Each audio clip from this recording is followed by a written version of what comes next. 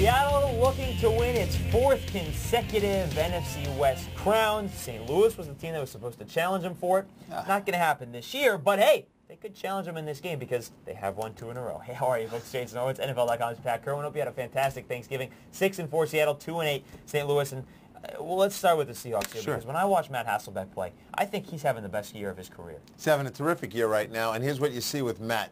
Great decision making, fast decision making, and great distribution of the ball. Not a lot of great receivers. Reminds me more of how the Patriots were in Brady's first few Super Bowls. A lot of good players going down the field, understand the West Coast offense, a lot of crossing routes, and a lot of balls being thrown to guys that can on the run so they don't have to lean back to catch a pass. That's so critical in the West Coast offense because they're looking for the YAC, yards after catch all the time, and they're getting it. And for the most part this season, the last couple weeks he's had uh, some rushing uh, ability from Maurice Morris, but for the most part this season he's done it without a rushing attack. Now, Maurice Morris, we talked about it last week, the, the, the burst that Shaun Alexander doesn't have. Is that enough to carry this team? Yeah, you look at Maurice Morris, and I think, you know, he's, is he a great player? No. Is he a good player and serviceable for this offense? Absolutely. A lot of cutback running, a lot of bursts at the line of scrimmage. He has 187 yards on the ground in the last two weeks, and that's just enough to set up what they really want to do. It's the short passing attack off play action. Meanwhile, the running back for St. Louis certainly is a fantastic player, and he's healthy. Tremendous player. Steven Jackson, he was not uh, in the game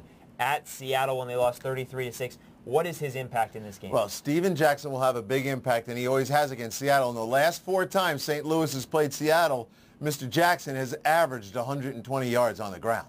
So that's what you're expecting, and I expect no less from him. Although he's up against a defense that fortified itself in the offseason, we saw Patrick Kerney come through with great pass rush last week. But Patrick plays the run as well as he plays the pass. Look for the run in the game to go right at Darryl Tapp. Undersized pass rusher. That'll be the inviting side to go after. It's a rematch game, and I know you love rematch games because you a lot of times you feel teams get payback, and they usually do. Right. Let's see what the computer thinks. Remember, Seattle won the first one 10,000 times. It's the AccuScore prediction, all mathematical elements. Here's what it has. They don't think the Rams are going to get revenge. 68% of the time, the Seahawks on computer go out and win. Uh, remember, this is all mathematics, though, so that's part of the reason why the computer will have the Seahawks win. Pat, you're not a math- mathematician here. No, I'm do you not. like? But I, and, and I like um, my hats off to you Rams that have got your two-game winning streak, and you are a much better team with everybody healthy. But you're not healthy enough to beat Seattle. The game will be a lot closer than the first time. But I see Seattle coming in, and Matt Hasselbeck's playing terrific.